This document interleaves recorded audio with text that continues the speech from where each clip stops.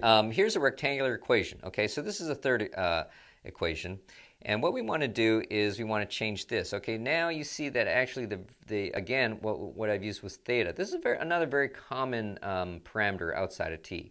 Now when we go to motion, we're going to stick almost entirely, in fact, we, I would, I'd have to say effectively, uh, we will entirely be working with t as our parameter. But since we're not necessarily dealing with motion as it relates to time, sometimes x and y relates to the, you know, to theta. Okay, that could be that whole aspect too. So here we recognize, as we said earlier, uh, you know, we're seeing sine, cosine. We're probably going to want to use that uh, identity that we were using earlier. So let's just try this. But let's first by making this into a cosine theta because we can't really do much with this 4 here.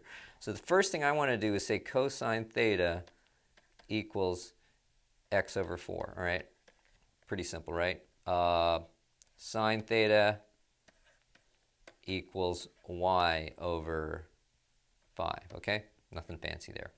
So now let's bring back our friend cosine theta, right, plus sine theta, squared theta, sorry, equals 1.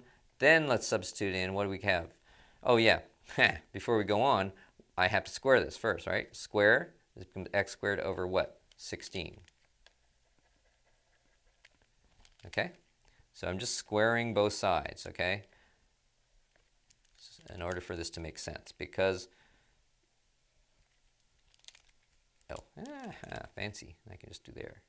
Okay, so all I did was I took that first uh, uh, um, uh, expression, which I got from these, and then I squared both sides so I can plug it into there, okay?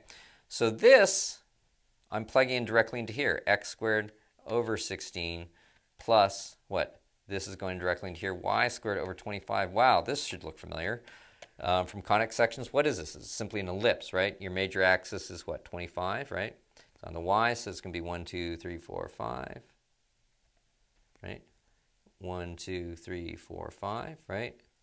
And then this could be 16, 1, 2, 3, 4, right? And then, uh, and of course, you'd figure out the, fo the foci. I'm not going to go through all this because this isn't really about conics. But however, we see we have a nice little oval here. And so this becomes the path of motion, right? Right. Um, this becomes the equation based on these parametric equations. So x and y relate to theta, okay, in this motion. Okay, so as theta changes, this path is going to change, okay? And, uh, you know, again, theta could come in, uh, you know, if you're drawing out, uh, um, you know, we could relate to other curves and whatnot. Uh, it's a little more abstract than, than time in terms of what, what this means precisely. But, um, but when you have this, simply convert this into using this very important Pythagorean trig identity.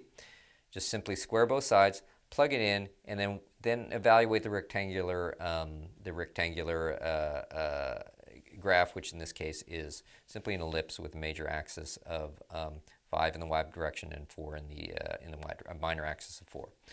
All right, so that is that is what uh, the rectangular equation is, and this is what it looks like on a graph. These both represent this graph.